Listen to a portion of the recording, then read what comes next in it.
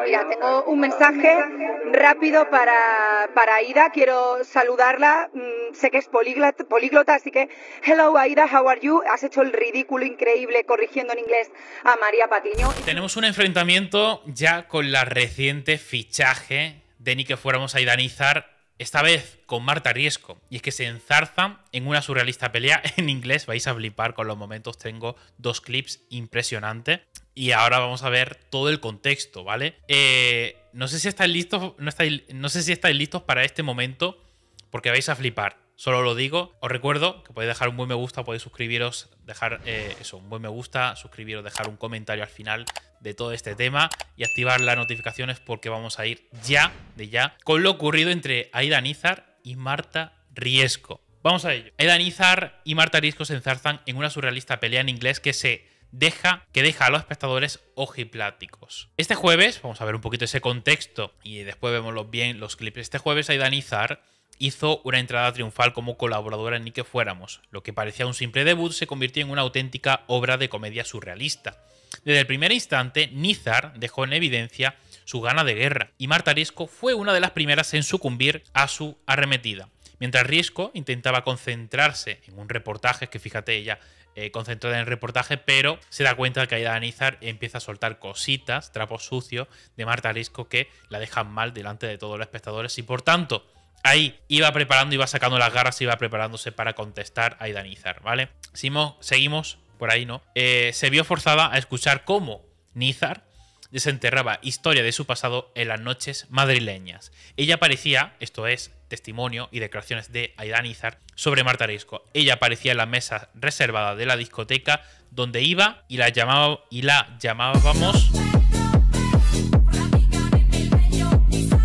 gracias Campanilla, muchas gracias por ese regalito. Bienvenida a esa persona que ha sido la afortunada en este caso. Recebitos. Bueno, bienvenida, bienvenida por, y además gracias a Campanilla, a Campanilla por ese regalito. Continuamos rápido, como digo. Se vio forzada Marta Risco a escuchar cómo Nizar desenterraba historia de su pasado en las noches madrileñas. Ella aparecía en las mesas reservadas de la discoteca donde iba y la llamábamos la buscadora de fama. Por si fuera poco, Aida añadió que Risco tenía una, una marcada inclinación por los futbolistas.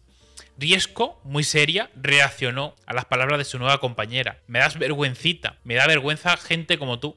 Pensaba darte la oportunidad de conocerte más de, más de lo que te conocí en esa época. Comentó con decepción. Dos partes, dos partes. Eh, primero esta que os tengo listo, ¿vale? Vamos a ello. Mira, tengo un mensaje rápido para, para Aida. Quiero saludarla. Mm, sé que es políglota, políglota, así que, hello Aida, how are you? Has hecho el ridículo increíble corrigiendo en inglés a María Patiño. If you want, we can uh, speak in English uh, because you were pathetic. Uh, mejor que no hables inglés a que hables haciendo el ridículo. Eso por un lado. Segundo, me alegro de que hayas recuperado la memoria. El otro día no me conocí. Kiko con la mano en la cabeza diciendo, ay Dios mío. Hoy me conoces, eh, según tú, he compartido coche contigo para hacerme fotos. Mira, eh, me he hecho fotos con algunas personas que admiraba y desde luego contigo jamás en la vida no tienes nada que admirar. De hecho, eh, me das vergüencita. Es, las cosas como son, me da vergüenza gente como tú y sobre todo pensaba darte por lo menos la oportunidad de conocerte más de lo que te conocí en esa época. Dice ella que no quiere, ¿no? Un saludo Pitufa, un saludo Mercedes a y un saludo a todos los que os vayáis incorporando por ahora esta noche o ahora mismo. Eh, vamos ahora con la otra parte que vais a terminar de flipar a la contestación la contestación y cómo salta Aida Nizar eh, contra Mart. Vamos a ello. Excuse me. So everyone can Espera, perdona, Aida, es que llevas toda... About English, you are talking about English with me. I'm studying Cambridge University during five years. Really? Okay, I'm Aida Nizar, the woman that every day you was looking forward to be like me. You remember when you was infortuning many, many times asking for a photograph? So come on, shut up, shut up. Really. You are talking with the queen. This is the queen of media. Do you understand that? So come on, eh, shut, up, shut up. La pobre Marta, la cara que se le ha quedado, ¿eh? Coffee with milk. you don't know me at all. You don't know me at all. you just want to be my fan. Other person. But very good. other, other, other. Other Gracias. person. Very good. Eh, Aida, simplemente Continue I, I try to. Wow. Of course, of course. I try to understand you, but it's impossible because your English is horrible. But uh, I can speak it in Spanish if you want. Madre mía, madre mía. La que. Bueno, habrá gente, bueno, por aquí ha dicho Noah que, que lo ha visto un poco forzadito. Yo, la verdad es que lo- sí que me ha parecido más natural, no sé, dentro de. Desde que a lo mejor podría ser un poco impulsado esto. Pero yo. mm, sí, hay mucho meme que se podría sacar de aquí, ¿no? Vamos a terminar de leer, como digo, pero una pequeña parte, pero ya que con lo que hemos visto tenemos suficiente, ¿no? Pero igualmente cerramos el resto eh, de lo que estábamos comentando, ¿no?